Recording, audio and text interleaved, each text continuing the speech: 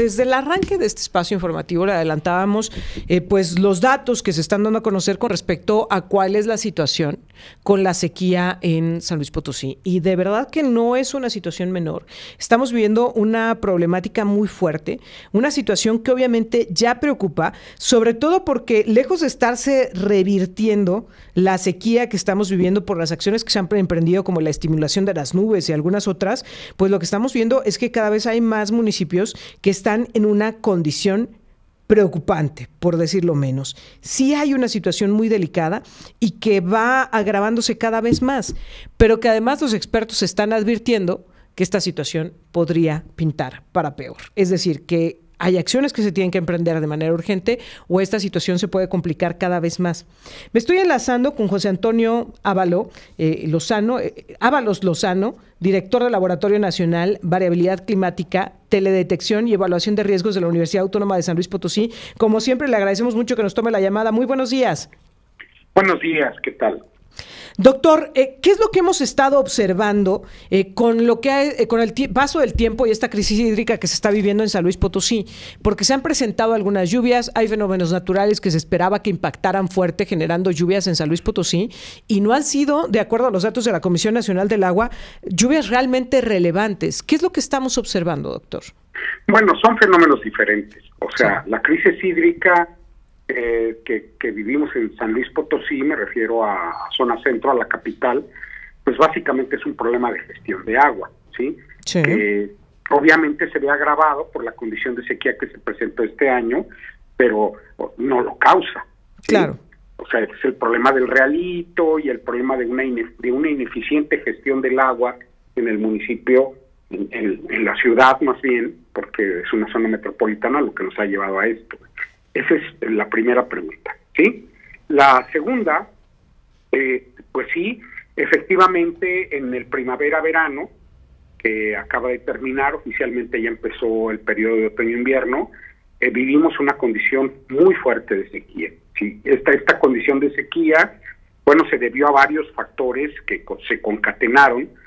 Primero, que hubo una anomalía de temperaturas es decir, las temperaturas fueron especialmente eh, altas este año, lo cual nos provocó una serie de problemas porque no solamente las sequías no solamente dependen o obedecen a la precipitación, sino que también son reguladas por la por la temperatura. Y a veces la temperatura puede ser más importante incluso que, que la precipitación. Y además hubo una condición de, sequía meteorológica, es decir, una disminución muy fuerte en la cantidad de lluvias que normalmente ocurren en, San Luis, lo que nos tiene pues en este momento en este problema. Ahora, eh, eh ¿Se prevé, se espera que esta situación eh, vaya a, cambiar, eh, digamos, en el corto mediano plazo?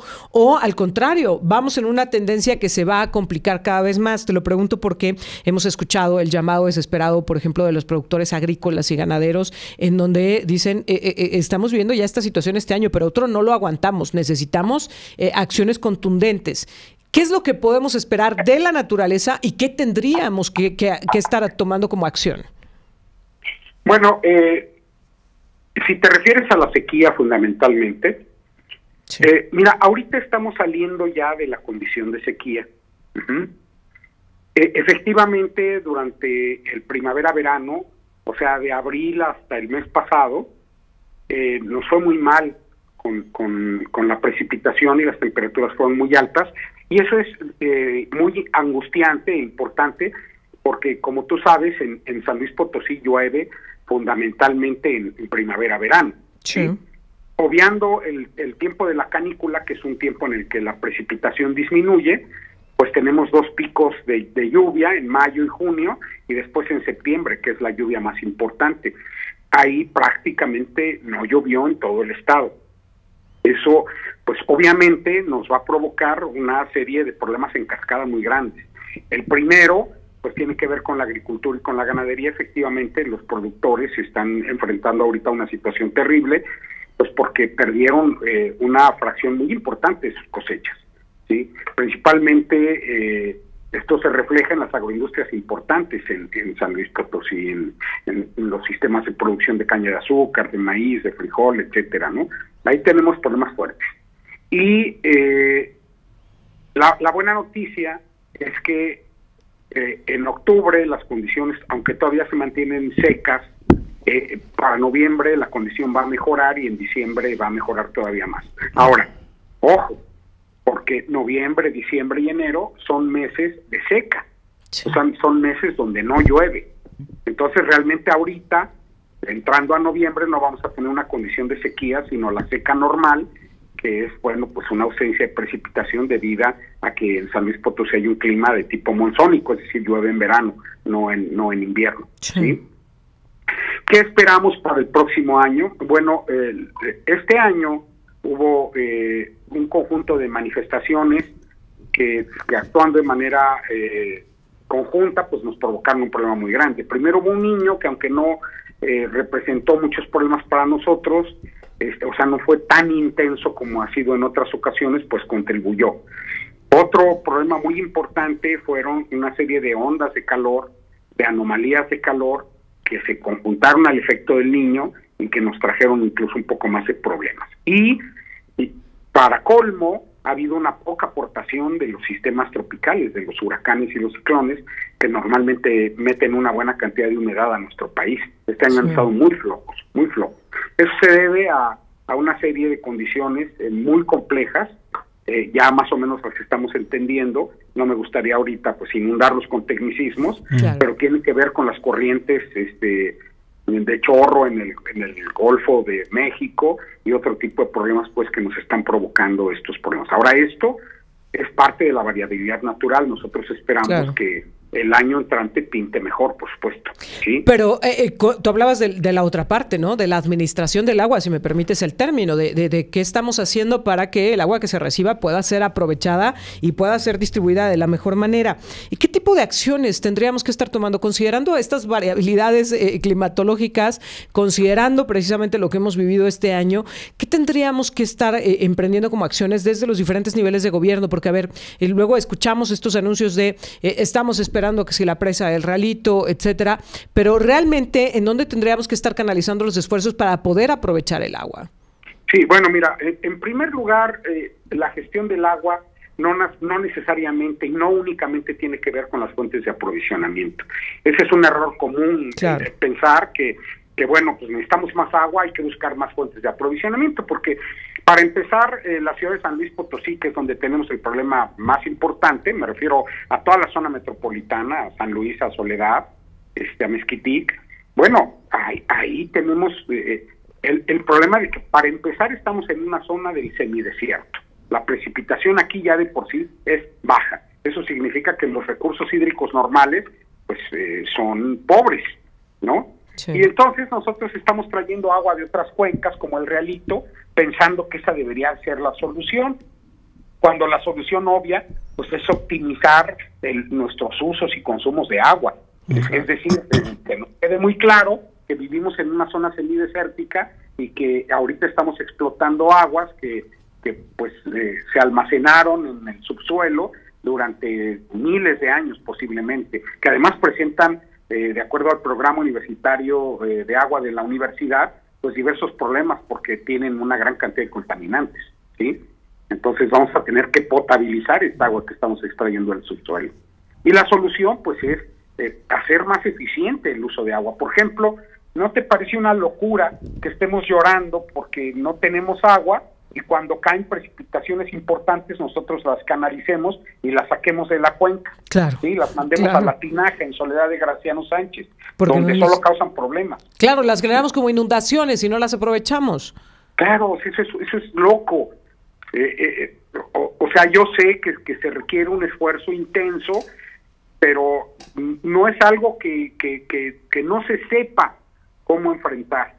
Lo que pasa es que es caro y implica pues, eh, importantes posibles conflictos políticos. O sea, para empezar, tendríamos que buscar la manera de no gastar tanta agua, ¿sí? De reciclar el agua que nosotros estamos contaminando constantemente. ¿Quieres darte una cuenta? ¿Quieres darte cuenta de cómo manejamos el agua en San Luis Potosí? Vete a dar una vuelta al canal de La Palma, en Soledad de Graciano Sánchez y ve la calidad del agua, ese es el agua de salida de San Luis Potosí, ese es el agua que estamos eliminando. Y, dime si te atreverías siquiera a acercar. No, claro que no. Ahora, el tema de la reabsorción me parece eh, muy importante tocar. A ver, eh, hemos crecido como ciudad, hemos pavimentado los cerros, hoy no hay forma de que el agua se reabsorba eh, y, entonces terminan estas inundaciones que, como bien lo decías, doctor, terminamos sacando de la ciudad, pero no hay ningún momento en donde sea canalizada, en donde sea aprovechada o en donde incluso, lo decíamos, ¿no? De la manera más natural pueda reabsorberse y pueda tan siquiera reabastecernos los mantos freáticos. ¿Y qué es lo que estamos causando con esto? Bueno, para empezar, que el balance entre la necesaria recarga y la extracción pues se altere y, y, bueno, como, como pasa cuando tienes una cuenta de banco, ¿no? O sea, si tú explotas sin meter a tu cuenta de banco, si sacas y sacas y sacas y no permites que entren nuevos recursos a la cuenta, pues va a llegar un momento en que te vas a quedar sin recursos. Mira, un buen ejemplo de lo mal que manejamos las cosas, a propósito de lo que acabas de decir, es irse a parar en una buena temporada de lluvias, en el cruce este que está eh, subiendo, a esta calle que sube al Tec Chapultepec. Chapultepec, pero hacia la parte de arriba. Párate ahí en, una buena lluvia y vas a ver cómo cae el agua. Sí, sí, sí. sí. Eh, eh, o sea, esa es una obra que está hecha de una manera terrible, o sea, y absolutamente inadecuada, contraria a todo, ¿sí?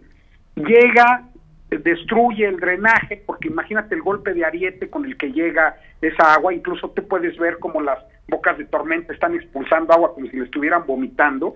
Imagínate el daño que se provoca el drenaje por esa caída, cuando eso se pudo haber previsto, ¿sí? O sea, es increíble que hayamos autorizado esa obra.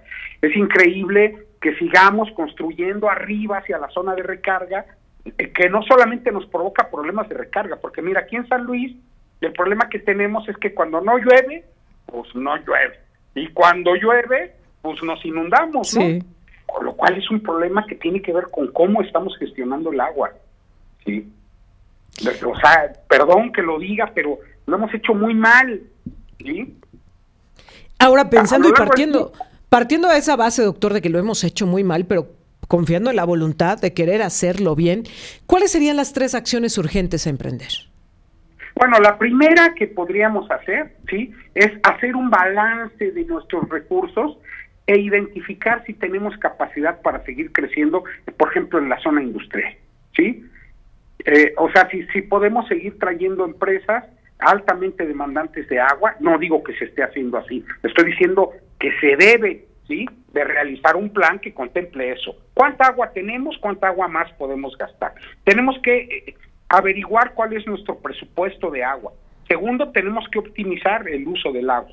Tenemos que empezar a exigir a los grandes contaminadores que traten su agua y que la eliminen de manera conveniente, ¿sí?, hacia las descargas. Y tenemos que reaprovecharla, por supuesto. Eso es algo esencial. En lugar de bombearla afuera, se están haciendo cosas, por ejemplo en la Tinaje el gobierno del estado pues está resolviendo un problema muy grave que, que, viene desde hace muchos años y que tiene que ver con constantes inundaciones en San Luis Potosí y en Soledad de Graciano Sánchez a lo largo de, de bueno pues estas salidas de agua de, este prácticamente de drenaje municipal de la ciudad, ¿no? Se está intentando resolver, pero el problema viene desde atrás. ¿sí? No, es una pésima estrategia intentar resolver las cosas al fin de la tubería. O sea, de todos los que nos dedicamos a las ciencias ambientales sabemos que las soluciones tienen que ser al interior del proceso. O sea, tenemos que dejar de gastar tanta agua, tenemos que dejar de tirar agua tan contaminada, tenemos que reutilizar el agua. Y claro, hay que pensar que, que, que lo más importante de todo son los grandes consumidores, ¿sí? Doctor, pues yo te agradezco mucho que nos compartas esta información. Hay mucho que hablar del tema del agua. Hemos tratado de irlo haciendo, digamos, en partes para tratar de abordarlo de la mejor manera. Y te agradezco mucho, de verdad, tu disposición a conversar con nosotros. No, nada tienes que agradecer. Estamos a tus órdenes, como siempre. Muchas gracias, doctor. El doctor José Antonio Ábalos Lozano, director del Laboratorio Nacional de Variabilidad Climática, Teledetección y Evaluación de Riesgos de la Universidad Autónoma de San Luis Potosí, que nos ha dicho claramente, ¿no? De esta sequía ya vamos medio saliendo, pero no hay que confiarnos. Altavox.